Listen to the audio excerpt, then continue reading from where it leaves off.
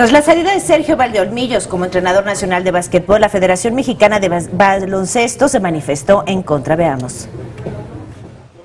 La Federación Mexicana de Baloncesto, una de las organizaciones que luchan por ser reconocidas para dirigir el básquetbol nacional, se manifestó en contra de la salida del español Sergio Valdeolmillos como entrenador nacional, cesado ayer por la ADEMEVA, la CONADE y el Comité Olímpico Mexicano.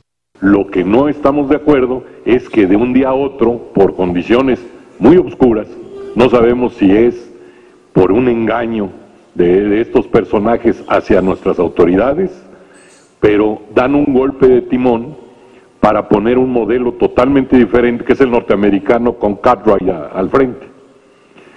Lo que sí no estamos de acuerdo es que el básquetbol y principalmente nuestros representantes del básquetbol estén a la deriva, no sepan exactamente hacia dónde van. Y en ese sentido recalcamos que están cometiendo un error, tanto el licenciado Mena como el licenciado Padilla. Insistimos en que Valdomillos debe de estar dentro del proceso de las elecciones nacionales, de aquí al preolímpico, como lo decía su contrato. ¿Sí? Creo que es un, un entrenador exitoso, no sabemos ni cuánto le pagan ni cómo le pagan. La organización dio a conocer su postura en el marco de la presentación de una Liga Nacional de Desarrollo que tendrá en el mes de octubre sus cuadrangulares de promoción y que esperan arrancar con 36 equipos en febrero de 2015. Informó Saúl Trujano Mendoza.